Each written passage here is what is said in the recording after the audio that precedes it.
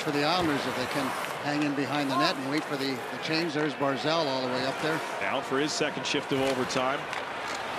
Two on one. and Dobson in a two-on-one. Mat Barzal couldn't get the pass through.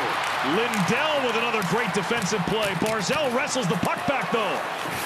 The tenacity of Mat Barzal. Look at this. Look at the battle. My goodness. He got it to Horvat, and the Islanders still have control. What a play by Barzal. Well, that's just second and third effort, and he, he wants to win. There's just no question about that. I mean, with that kind of effort, and I'm surprised he hasn't gone off yet. I'm tired watching him.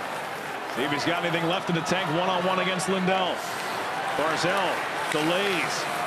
Out high now. No safety net back there, so he drifts closer. Barzal stops, feeds it, score!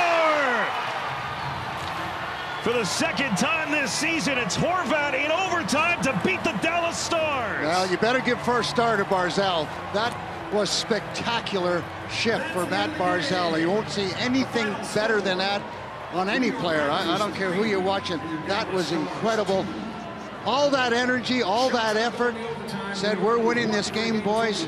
Stick with me. And a beautiful pass to Horvat, and he makes absolutely no mistake about it. Yeah, we can look at Sorokin playing a nice game, real good game, and everybody contributed in a big way. But this shift by Mat Barzal was just nothing sort of sensational. I mean, I don't know how long he was out, Brendan. I mean, he was seemed to be out forever, and he's not a, he's not floating.